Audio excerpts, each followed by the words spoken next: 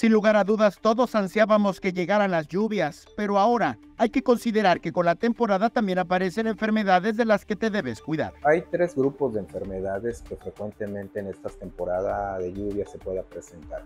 Las enfermedades transmitidas por vectores, dengue, paludismo, zika, chikungunya, la parte de las enfermedades gastrointestinales, salmonella tifoidea, o otro tipo de agente infeccioso que puede ocasionar una enfermedad gastrointestinal.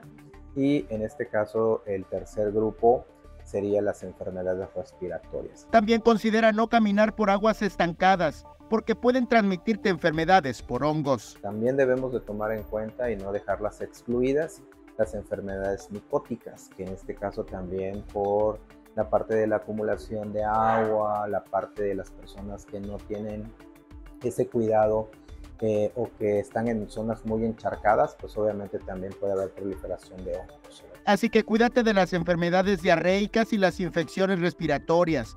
Elimina los objetos en desuso porque se convierten en criaderos de moscos que pueden transmitir el dengue, zika y chikungunya y por lo que más quieras.